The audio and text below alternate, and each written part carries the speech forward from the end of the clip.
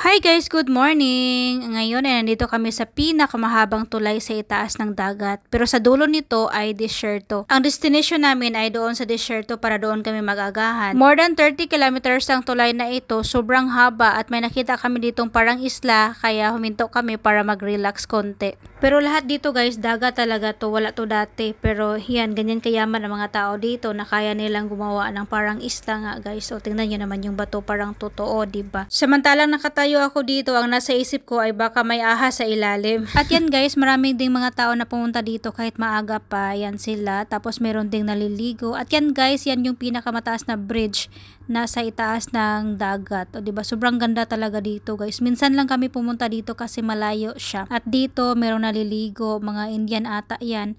At saka, guys, hindi sumama si madam dito sa amin ngayon kasi sobrang laki ng mga bato. Takot siya sa mga bato at saka sobrang hangin, guys. Sobrang lakas ng hangin kaya natatakot siyang sumama sa amin dito sa may mga batuhan sa tabing dagat. Nandyan lang siya sa loob ng sasakyan. Ayaw lang niyang sumama sa amin dito kasi hindi naman siya makalakad daw ng maayos kaya natatakot siya dito. At yan ngayon ay pupunta na naman kami sa sasakyan sasakyan kasi maghanap kami ng lugar kung saan kami kakain at dito nga tinulungan ako ng alaga ko at saka ng amo kong bumaba kasi napakataas ng bench mahirapan akong bumaba. At tinanong ko nga si amo kung malapit na ba kami kasi gutom na ako pero Sir, we are already half or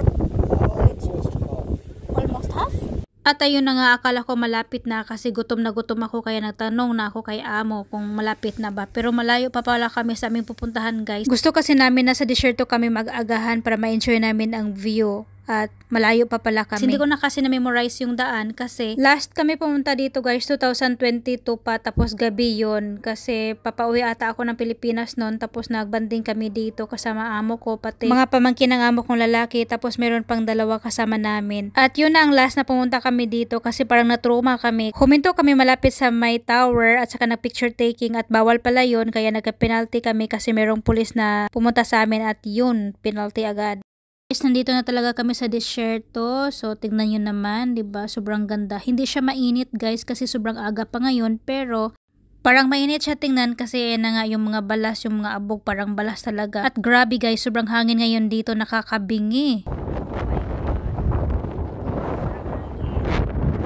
Yan guys, sobrang lakas ng hangin. Mali yung plano namin na dito kami mag-agahan kasi sobrang lakas ng hangin. Maraming mga abog-abog. Mapil talaga namin og kaon. Char. At ayan na nga yung mukha ko. Sobrang hangin talaga at kaliligo ko lang at mamaya pag uwi namin ay maliligo na naman ulit kasi sobrang abog guys. Grabe. Papasok sa ilong yung mga abog-abog.